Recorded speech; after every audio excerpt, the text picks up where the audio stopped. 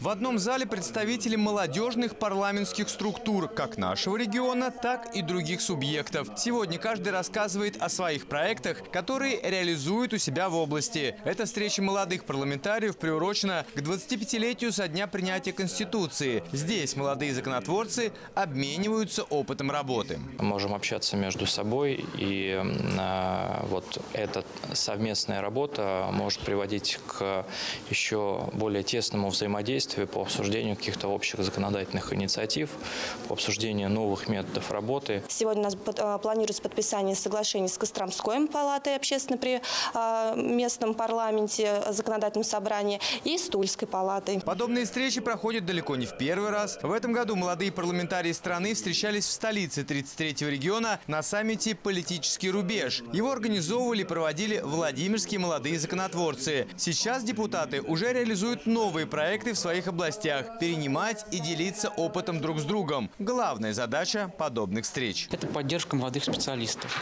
Это э, разработка ряда предложений в нормативно-правовые акты, э, как региональные, так и федеральные, которые касаются именно поддержки талантливой молодежи на местах. С мая, с э, того момента, как прошел саммит «Политический рубеж», у нас удалось установить, благодаря участию в этом саммите, ус- установили очень хорошие контакты и с Тверью, и с другими регионами, которые достаточно близко к Москве. Во Владимирской области молодежные парламентские площадки, которые объединили людей разных возрастов, от школьников до действующих депутатов, были созданы по инициативе председателя Законодательного собрания Владимира Киселева. Там готовят грамотных специалистов, которые потом будут работать в органах государственной власти. Начинающие законодатели регулярно встречаются с представителями профессионального сообщества, изучают правовую систему, предлагают законотворческие инициативы. Ребята из молодежной думы при законодательном собрании и депутаты местных советов молодые уже инициируют ряд, ряд законов Владимирской области. Это и запрет